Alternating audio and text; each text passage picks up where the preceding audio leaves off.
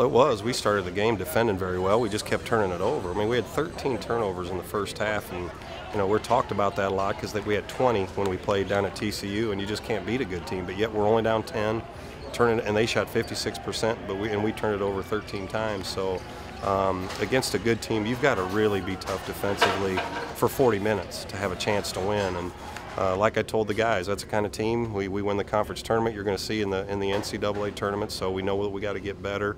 Um, but a lot of nothing to hang our heads about. A lot of good things. We, we competed, played hard to the very end, and we know that we got to get better. What were one of the biggest positives that you think your group can take away uh, from this tournament?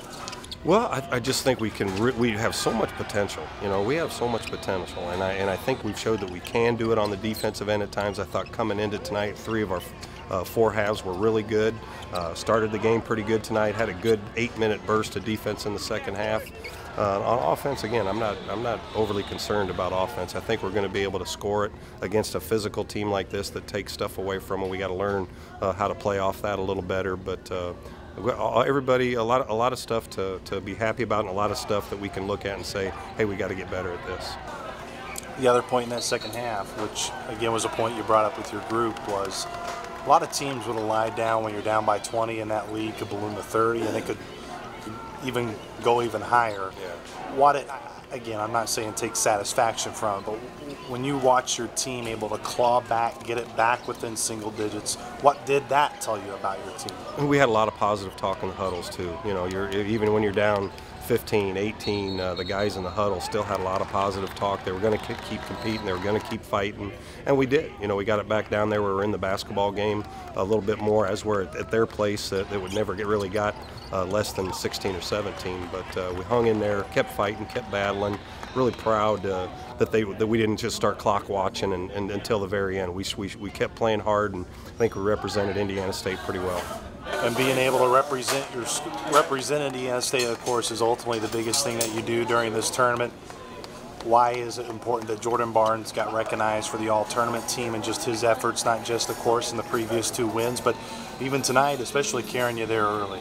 Well, he's very deserving. He's certainly one of the best players here. There's no doubt about it, and. Uh, the rest of us have to do a better job uh, helping him out, taking some of the offensive load off of there so he can help us even more on the defensive end because everybody attacks him at both ends of the floor to try to wear him down.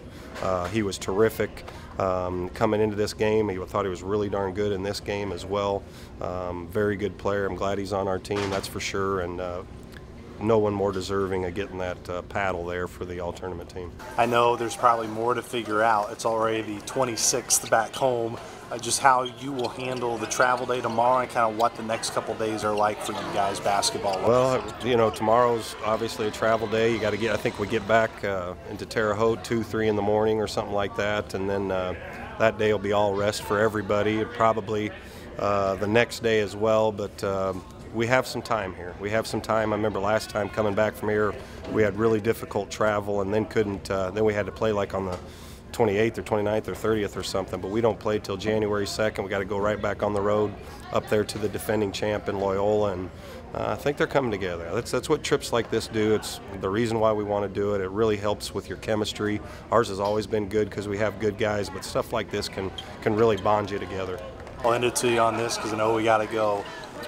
It's go time now. It's Valley time. When you get back, just the excitement of now this is not to say that these previous games didn't matter because they did, but it's ready to go. Um, you know, we didn't accomplish anything here. We didn't win the championship, but we got better, and I think we showed some of the kind of the potential that we can be as a team. And I, I love the guys. I think we have a really good group of guys, and we'll get back and get rested and, and keep getting better. And um, I just hope our fans, you know, enjoy the way we play. Hope they got to, a lot of them got to see us at home over the holidays, and uh, they come see us in the home and.